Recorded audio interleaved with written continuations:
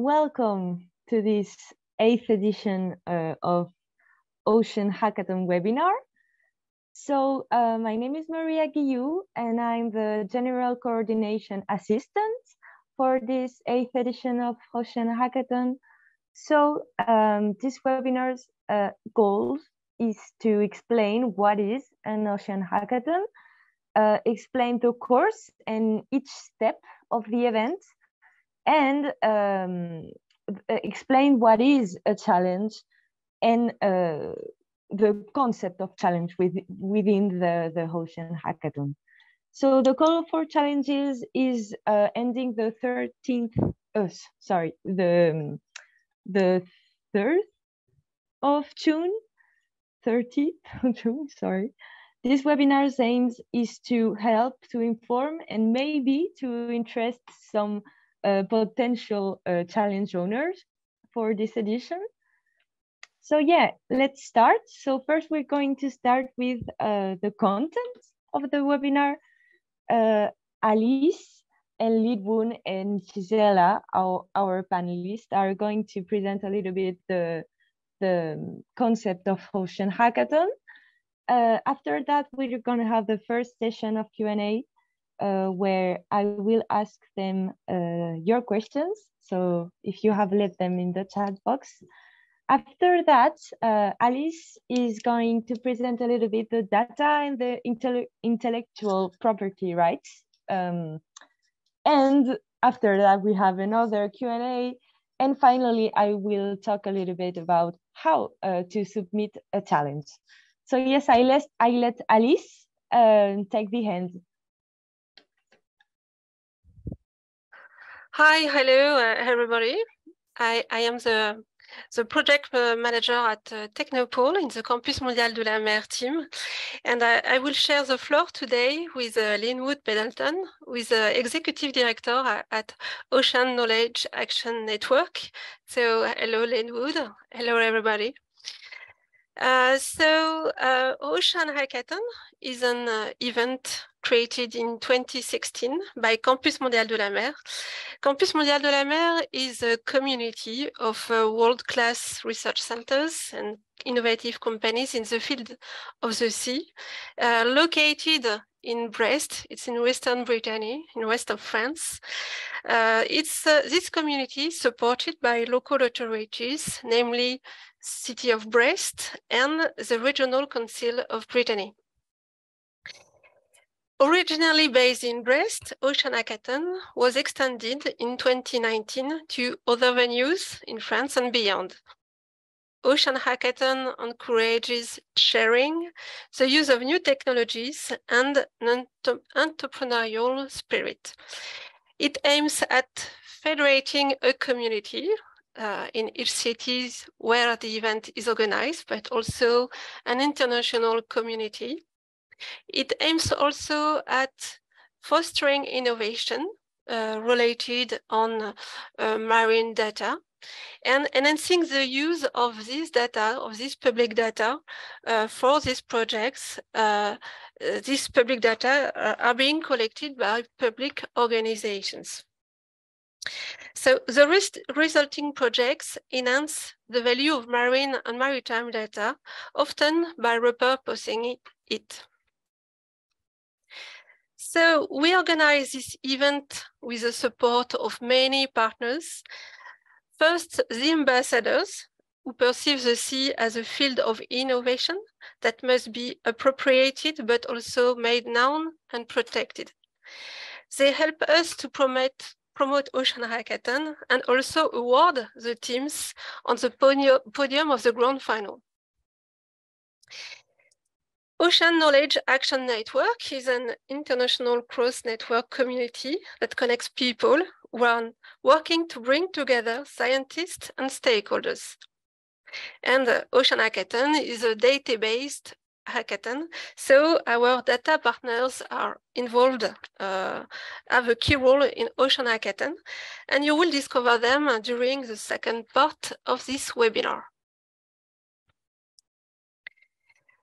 At the beginning of uh, the process, at the beginning of Ocean Hackathon, there is people named challenge owners uh, who bring new ideas and would like to develop their project during Ocean Hackathon. Ocean Hackathon will take place this year simultaneously, sim simultaneously in 16 towns and cities and uh, from uh, 17 to 19 of November. To help them, uh, the challenge owners will have a multidisciplinary team. The teammates having different skills like computer programming, web developing, marketing, ecology, or economy. The teams are set during the registration phase, which lasts uh, for a few weeks before the local events. And during the Ocean Hackathon, the teams will work 48 hours nonstop in order to develop a prototype, which can be a mob mobile application, a website, a model, or a plugin. They will have access to data put at their disposal by, by data partners, and coaches will be available to help them on site and online to help them develop all aspects of their project, technical aspect, data processing, societal and environmental impact of the project, the business model of the project, and also to draw some perspectives. At the end of the weekend, the teams pitch their project in front of a local jury who designate the winning team. And this team will participate in the international grand final in Brest in December. It's a pitch contest in front of an international jury. And the first three teams are awarded for, with cash prizes of up to 5,000 euros in order, uh, so this year, uh, Ocean Hackathon is organized in 16 cities that, that you can discover on this map. Uh, you see Rimouski in Canada, Merida in Mexico City in Mexico, Conception in Chile.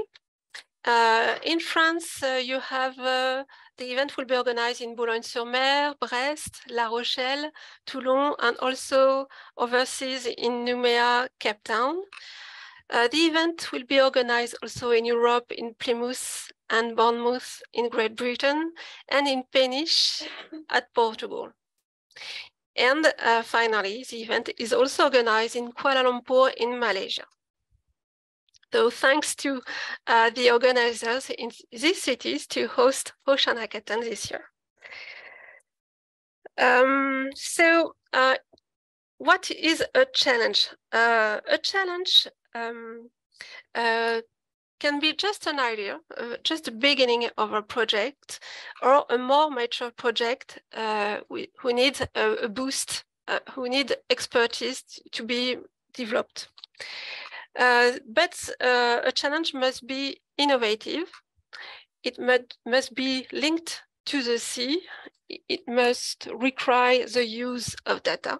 It's an important criteria and lead to a concrete prototype at the end of the weekend.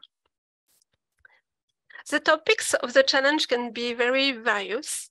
Uh, uh, you see here some topics that you that can be uh, um, uh, tackled by challenges. Uh, some uh, regarding, for example, education uh, of the public uh, or um, um, topics regarding the, the, development of human activities on the coast of or onshore, the protection of marine species, for example, the conservation of species, and or, for example, how to face to marine pollutions, uh, and so on. The owner of a, a challenge can be an individual or can be an organization. So you can submit a challenge uh, for your organization, which can be a business or a company, uh, a research laboratory, or a non-profit organization, and so on and but uh, it's very important to know that the challenge owner has to be present during the weekend in order to work with the team uh, uh, who will be uh, there during the weekend. So uh, if you want to discover all the challenges tackled uh, last year during Ocean Hackathon, you can browse our press kit and you will see all, all the challenges. And um, for example, here is a challenge uh, well known by Linwood, uh, JellyGo. Uh, uh, was submitted by CIMAX uh, in Kuala Lumpur uh, last year. And during the weekend, they developed a smartphone application uh, which was able to predict the probability of encountering jellyfish in the waters around Penang. It was it was uh, use, uh, using AI to interpret sm smartphone photos to identify the type type of jellyfish. Uh, it was able to provide species appropriate first aid advice to people uh, who would be uh, touched by jellyfish. And also uh, the, the application was able to call the nearest hospital. So you see a very complete uh, project and so the project uh, won Ocean Hackathon last year. So in order to give you a taste of Ocean Hackathon and uh, let's and to give you a flavor of what uh, of the local events, uh, let's discover the atmosphere in the 20, 12 cities uh, where the event was hosted last year.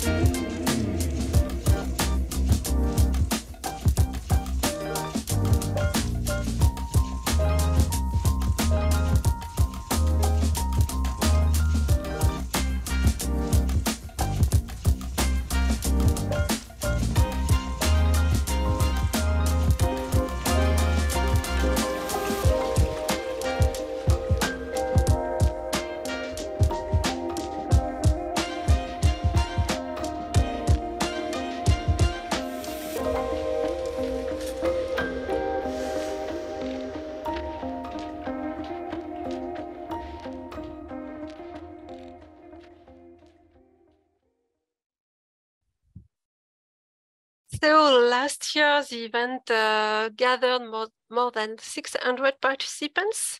Uh, 70, 72 challenges uh, were tackled by the participants, and they had access to more than 600 datasets.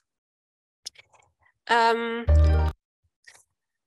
so um, Ocean Hackathon is a great opportunity uh, to benefit from the support of uh, uh, data experts and so on. So here are the great reasons to submit a challenge. First, you can during this weekend test your idea your concept or boost an existing project by example, if you want to remove a technical uh, uh, barrier to, to your project, uh, it's opportun an opportunity to raise awareness of the potential of the ocean and the importance of preserving it.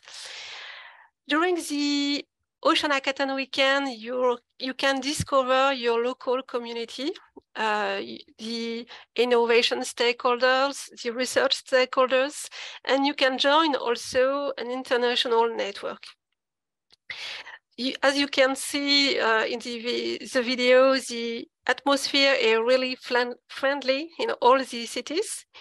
And uh, it's a good way also to find and develop uh, new talents you will have uh, with, around you a team uh, to explore the side of your project and uh, you will have access to data and will, you will be able to work with experts here you can see the experts in Toulon uh, last year and so it's a good way to, to increase your skills. Uh, we have also a testimony of uh, uh, a winner of Cape Town last year who participated in the grand final. So uh, I suggest uh, you we see his testimony. I was uh, representing CIFAR at the Ocean Hackathon 2023 International Grand Finale in Brest. Uh, CIFAR is a project that is aiming to mitigate illegal, unreported, unregulated fishing by harnessing machine learning algorithms and high frequency radar data technology typically used for monitoring uh, ocean surface currents. Main takeaways from the event um, inspiration was a big one, um, and just motivation, being immersed in a, in a collective of like minded people, um, and having discussions outside of the kind of more narrow project scope um, of CIFAR alone. Um, it was a massive networking opportunity and it's it fostered a lot of relationships that, are, that have been helpful um, to the project even to this day, down to connecting uh, with grant funders um, and potential um, future partners. And the next steps for us, yeah, we actually uh, registered the company about a week ago having developed our prototype during the 48 hour regional level of the hackathon. And now we're a fully registered company. We've got a 34 page business plan and we're seeking funding.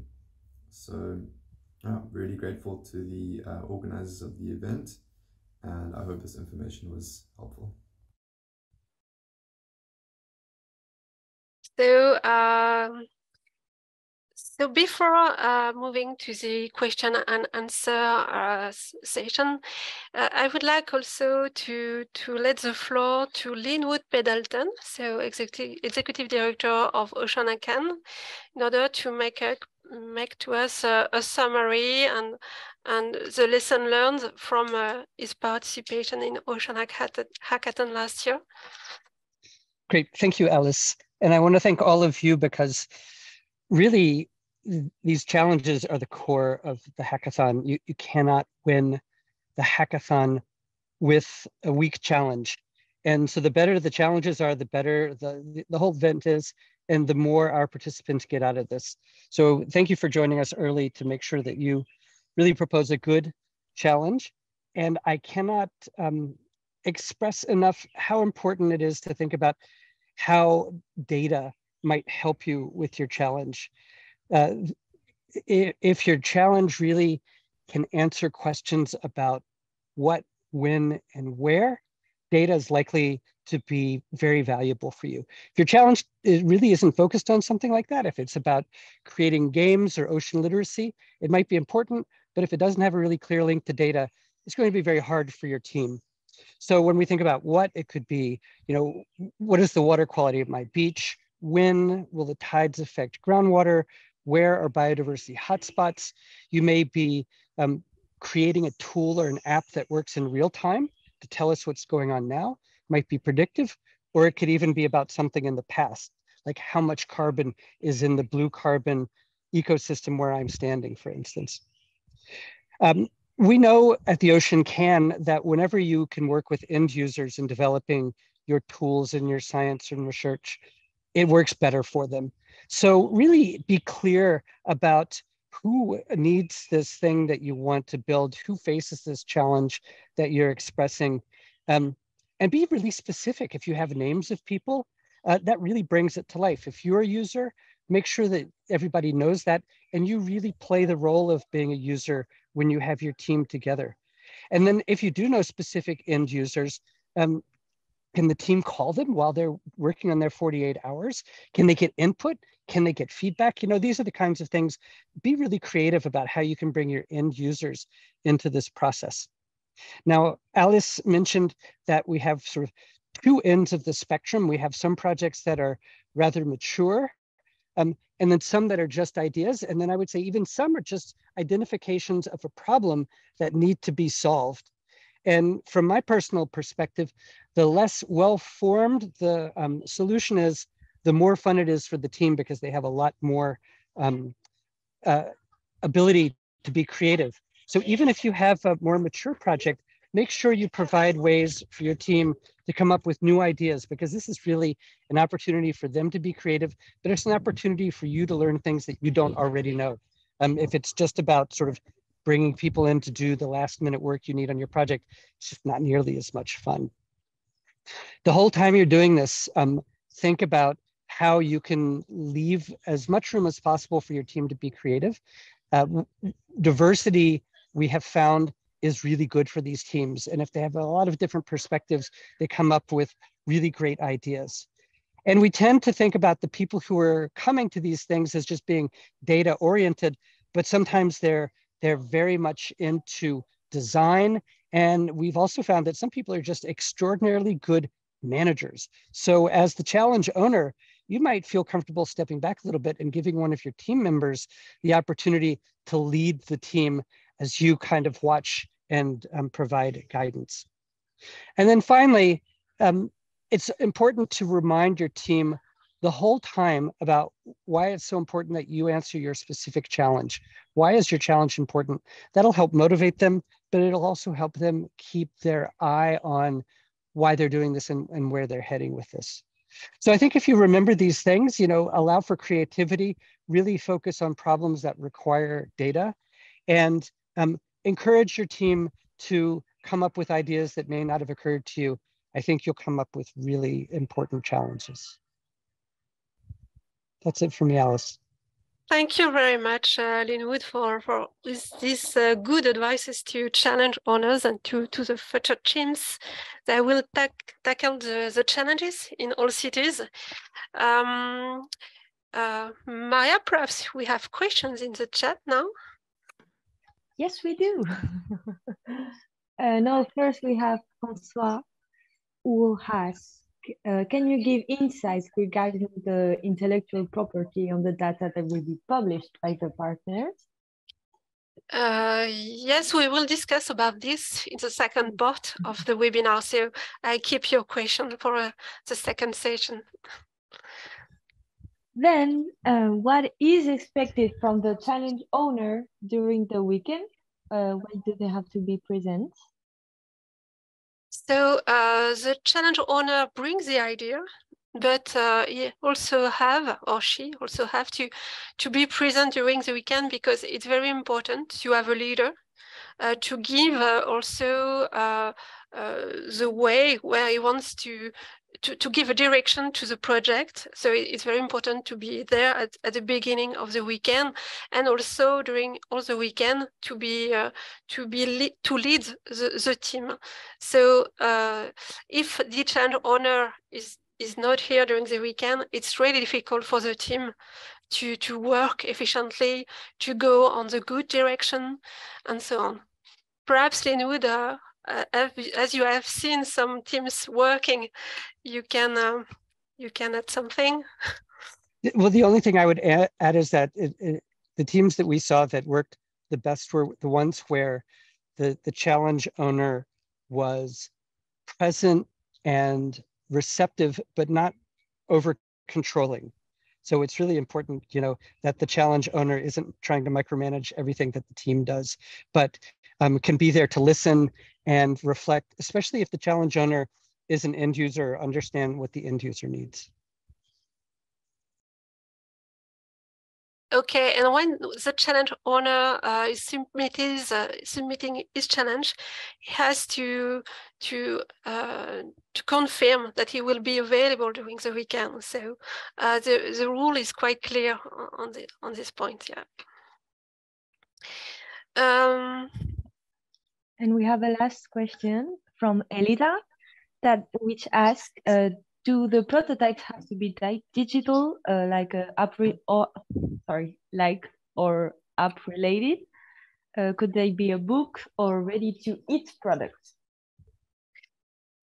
Um, most of the case, the the results, the pro prototypes are digital, but it's not a rule really.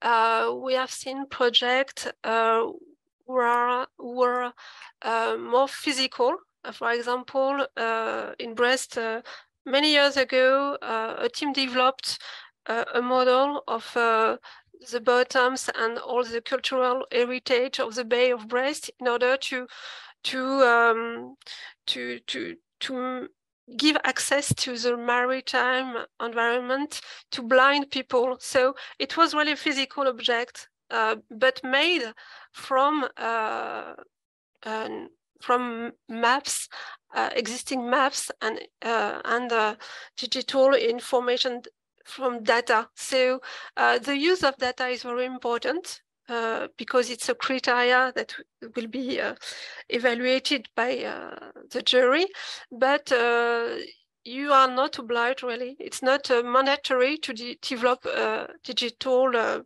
prototype.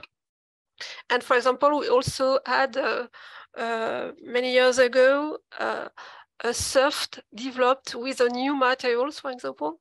Uh, so it was a physical object and not a digital prototype. And, and, I'll just add, while I have a hard time imagining an edible product, I can imagine um, a 3, 3D printed product. I could imagine a um, sort of a, a constantly updated guide um, to places you might want to go about biodiversity, for instance, that could be built on data. Uh, so I, I agree with Alice. There, there are ways of thinking about this, but it has to use data and it can't just use a little bit of data. This is where I think we've seen some people really try to stretch the rules and, and they don't do well, is if they're just using a little bit of information. There's a wealth of data out there, ocean data. And the Ocean Hackathon was really created to get more out of this information that we have. And it has many different kinds of variables, um, many different types of data, many different ways of collecting and interpreting the data. And so if you can really take advantage of that, you'll do well.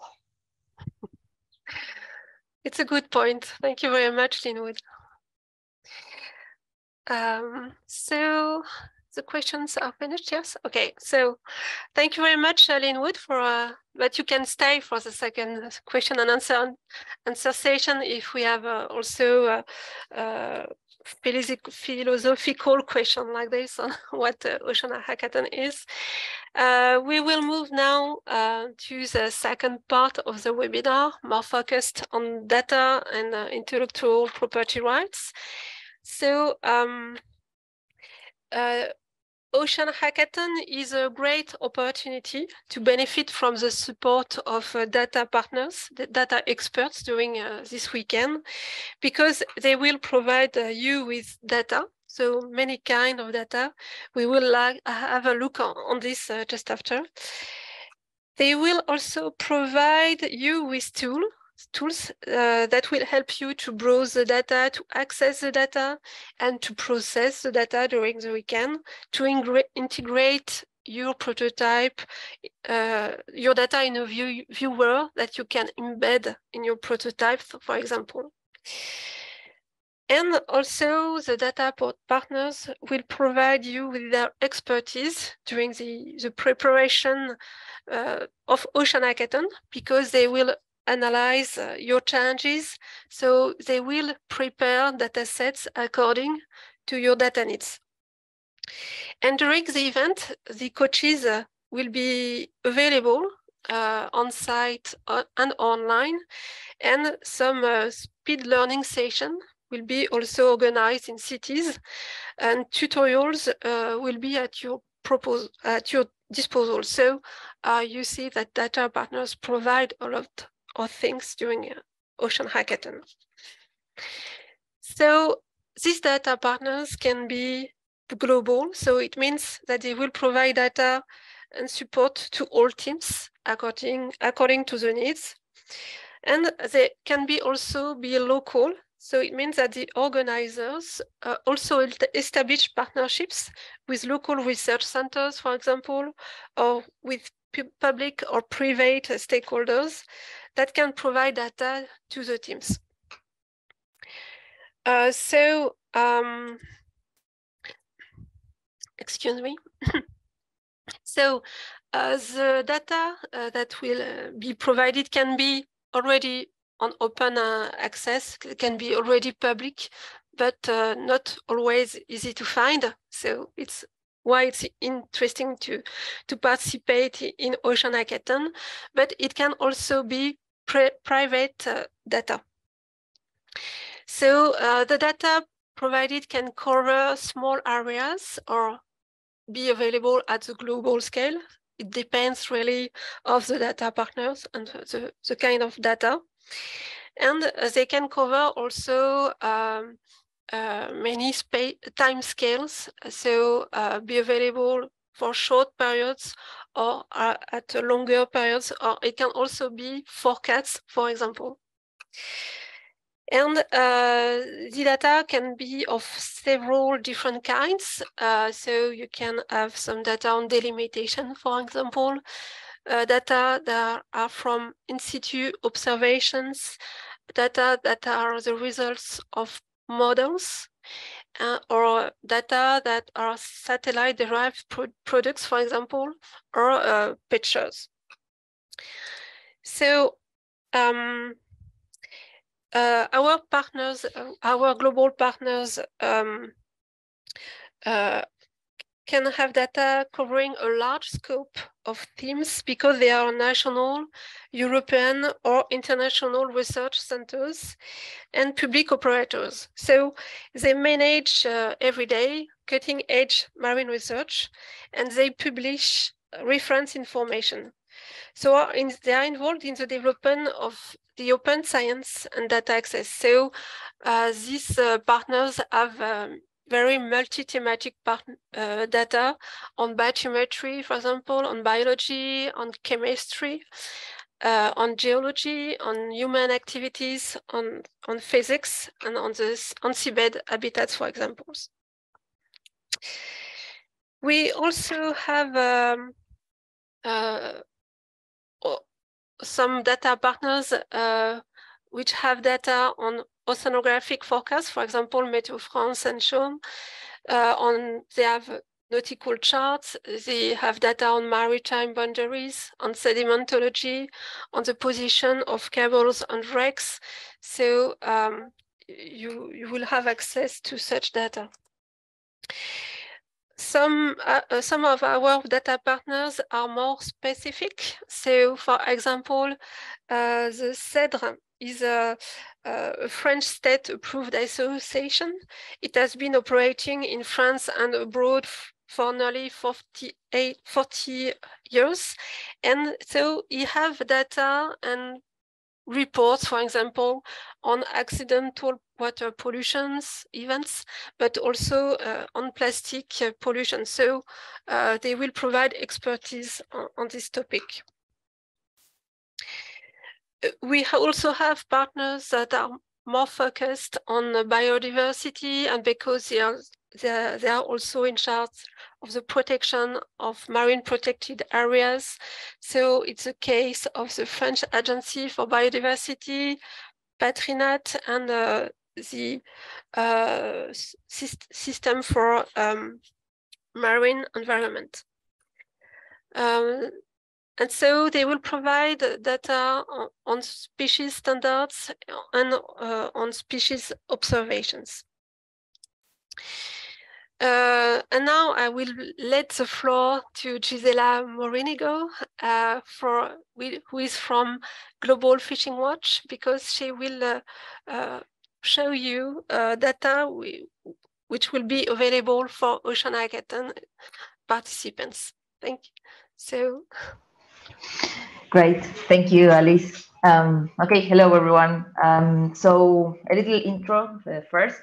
So Global Fishing Watch is an international NGO using satellite technology, machine learning, and data visualization to build an accurate picture of human activity at sea through free and open data and tools.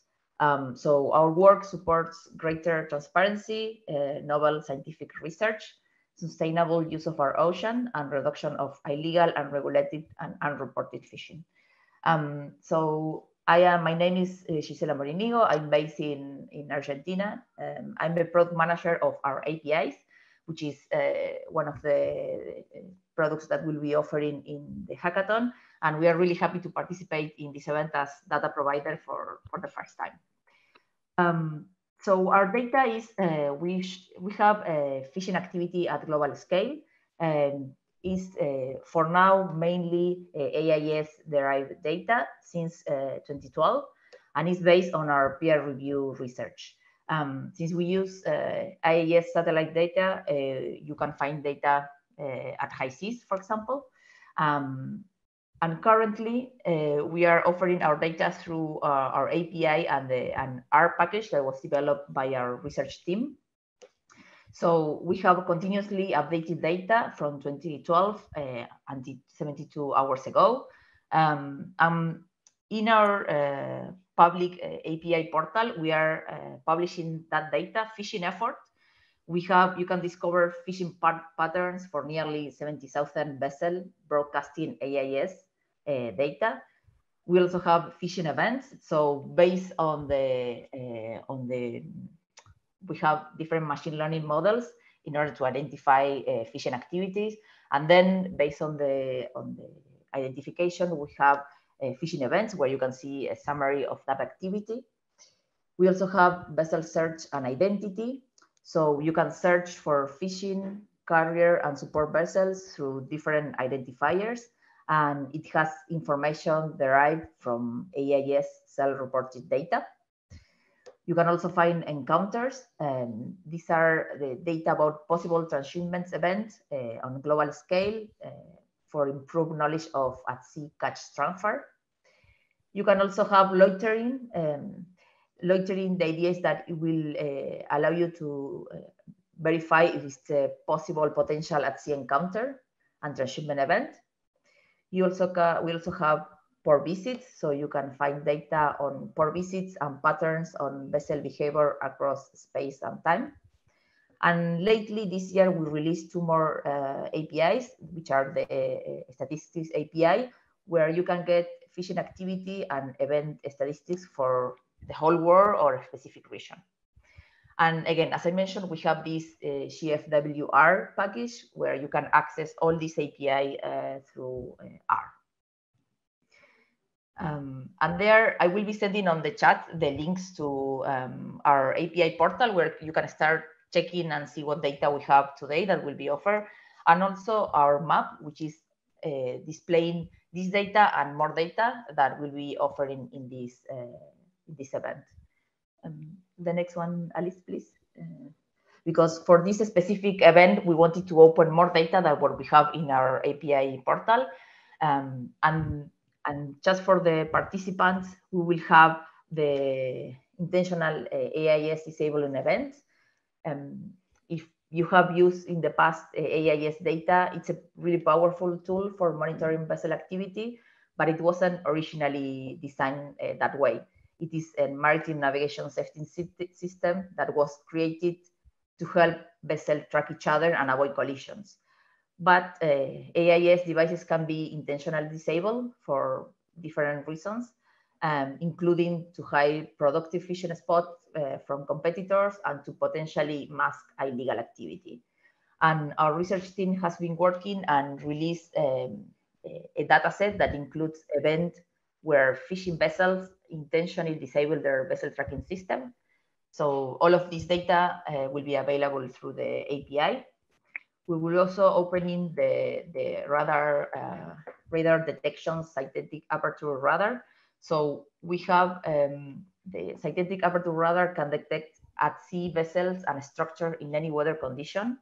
And this is something that since we want to make sure that our data uh, can offer and give visibility on what is happening uh, the, at sea, uh, this data will allow to, to have uh, to be used in comparison with the AIS. So when the AIS is not turned off, turned on, then the SAR images can be used. And we are going to be uh, showing vessel detections when they are matched with our AIS vessels and when they are not matched. Uh, and this data is from Sentinel-1 imaginary. So the different data sets uh, are from different time periods. In this case, for the, the SAR, uh, we have from January 2022, but the, the events on AIS are from 2012. So uh, it depends on the data, uh, the range of period. Then also we want to include improved vessel identity. Um, so far, what I mentioned before, was vessel identity based on what self-reported uh, AIS device, so what is reported on, on, the, on the device. And we are going to be including uh, information from um, 40 public registries. These include regional fisheries management organization, uh, registries, national registries, and lists compiled by researchers. Um, so in order to add more details of the different vessels, and the last one is we have been working in having in giving more insights about a vessel. So we will uh, expose an, an API where you can find information about IUU listed vessels, AIS coverage, and summary uh, event information. For example, uh, encounters in, in foreign uh, sets or encounters uh, fishing event in, in no-take API. So the idea is to give uh, from the list of events that you can see in the previous slide. So uh, originally we are giving you all the details and with this vessel insight, we try to uh, highlight some of those events that we think are important to, to review. Um, so that's why we want to give. And obviously, as Alice said, once the challenges are created, we will be reviewing that and see if we can offer uh, any other data. Thank you very much, Gisela. Uh, Global Fishing Watch uh, is a new partner of Ocean Hackathon, and uh, we are very happy that such uh, topics uh, will be able to be uh, tackled during the during uh, Ocean Hackathon thanks to this partnership. So thank you very much. So. Um, regarding AIS data, you will be able to have access to data not only on regarding fishing boats, but more generally the maritime traffic, uh, thanks to two partners also, CEREMA and University of Le Havre, who have data at the global scale and also for French maritime areas. So you can have access to the maritime traffic uh, uh, on this basis. Um, uh, we have also many data partners uh, who have uh, satellite data. Uh, satellite data can be used for many projects. Uh, they give information on the ocean color, on the sea temperature, on the sea uh, on the currents, and so on. So such data can be very useful also. So Mercator Océan International, Copernicus Marine Service, WEkEO, ODATIS have such products, and Ifremer also. So we have many uh, partners uh, with with such data, and also partners uh, who provide expertise when we analyze the data needs of the challenges. It's the case, for example, with uh, Bretel and uh, Pôle Mer Bretagne Atlantique. So uh, the, as you can see, there is a lot of data uh, that will be pre prepared for the challenges. And uh, in order to, to allow the participants to find their way in the data, uh, a data catalog will be available uh, during the event and uh, we will open it uh, a few days before uh, the Ocean Hackathon weekend.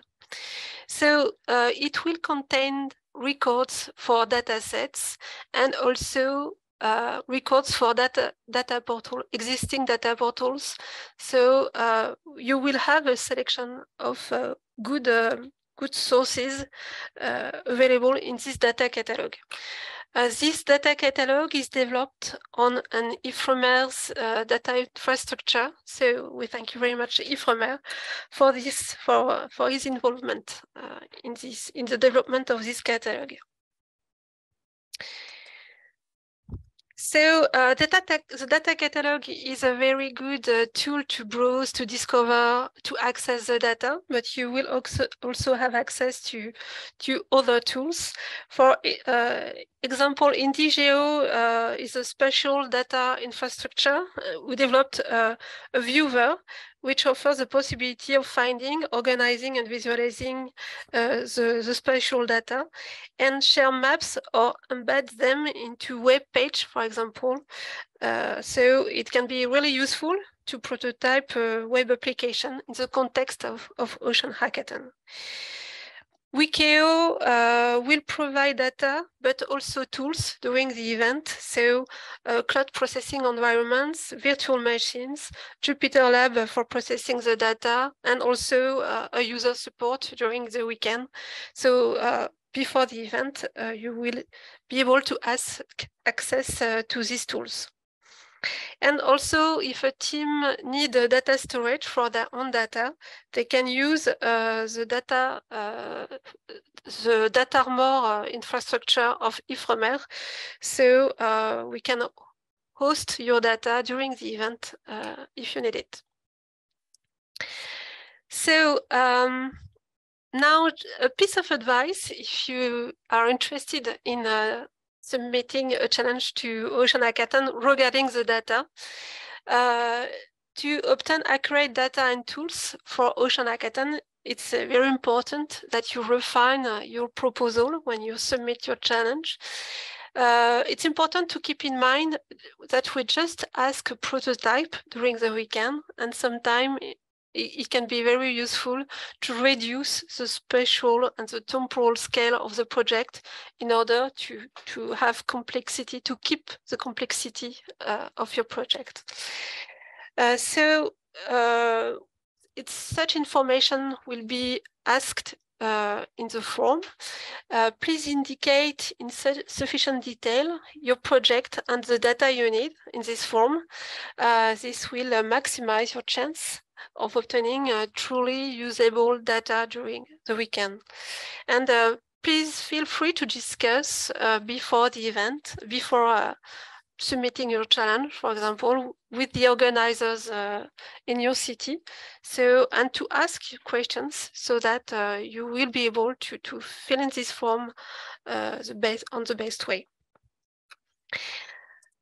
Um, and we discussed discussed a lot of the data that we will be at your disposal. You can also, if you want, bring your own data, especially if you are a research center, you have your data. And uh, so if you want to use your own data, let uh, your local organizers know if you need a storage capacity. So you have seen that we have uh, tools, some storage capacity. So we just have to, to have it in mind uh, before the event. And uh, you can indicate also how you will uh, made the data available for, for your team. So to how you will share the data with your teams. Uh, and if you want to share your data with other teams, uh, because you think it, it, can be of interest for other teams, we will help you to publish your data in the Ocean Hackathon data catalog. Um, so now uh, a very uh, awaited uh, moment of this webinar. So some key information regarding the intellectual property rights, because it's very important for the data partners, but also for the challenge owner, uh, challenge owners. So uh, there is intellectual property rights on the data and tools that will be available during the weekend. So uh, you will find information in the rules of Ocean Hackathon. When you submit your challenge, you have to to accept the rules, so to read the rules before. So uh, all we provide is available during the Ocean Hackathon weekend, but if the project continues after the Ocean Hackathon event, uh, there are there are some legal uh, there is some rights on, on this data and tools, and so uh, there must be a written agreement between uh, the participant and the wild holders before any other use. And regarding the results and uh, the prototypes, um, uh, the, the rights are, uh, there is two cases. It depends uh, if the challenge uh, owner is an individual or if is submitted uh, the challenge on behalf his organization.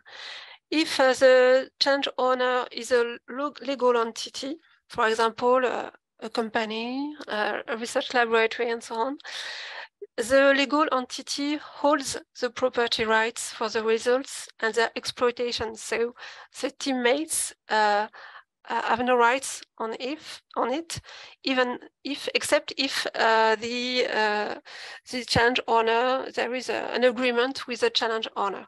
Okay.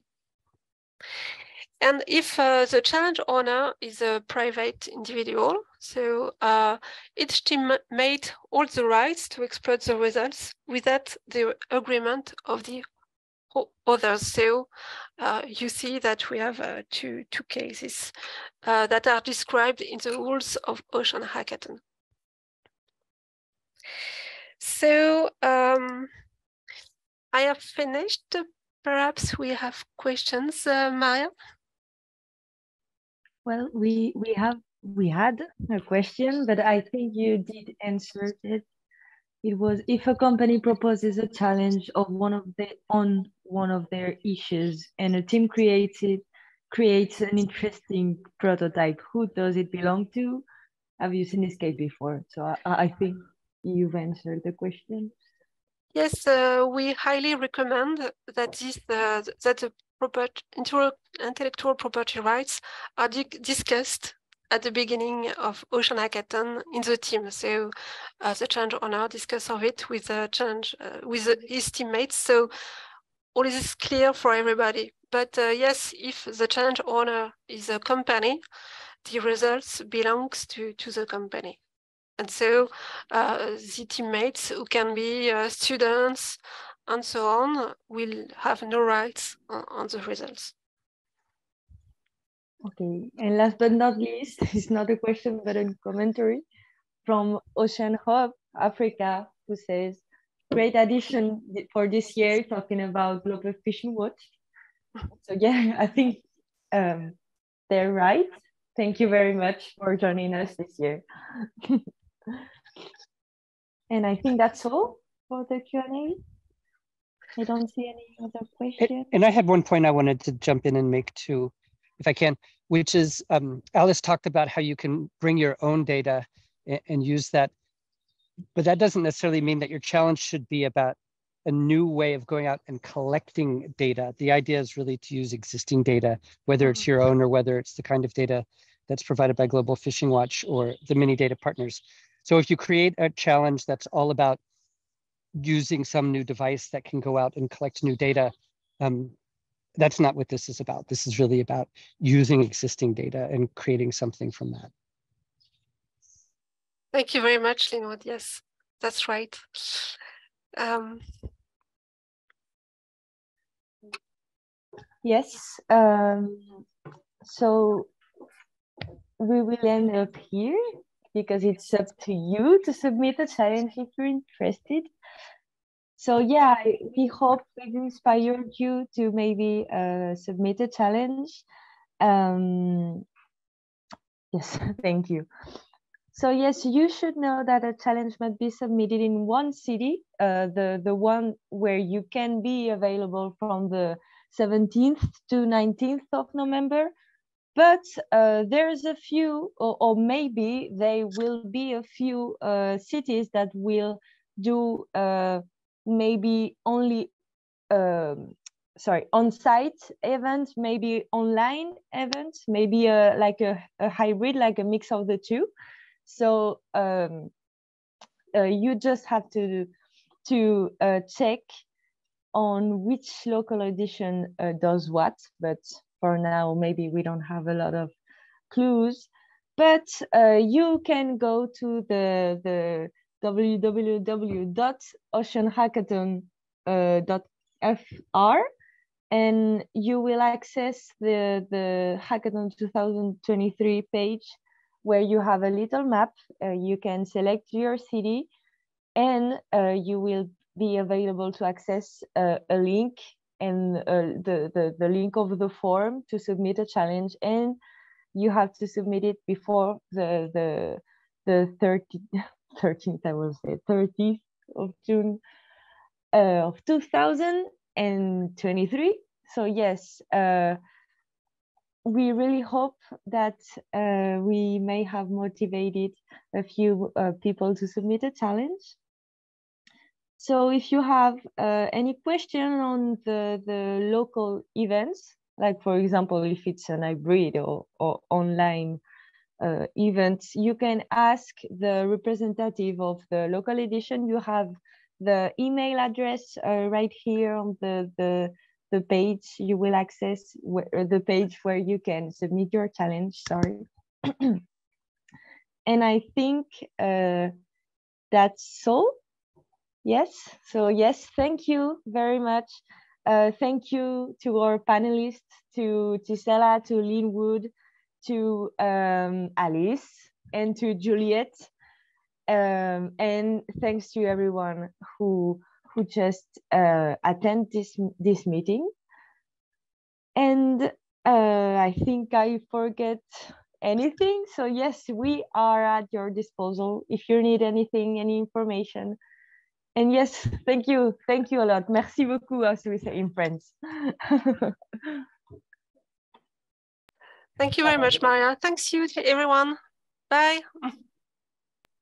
Bye. Bye.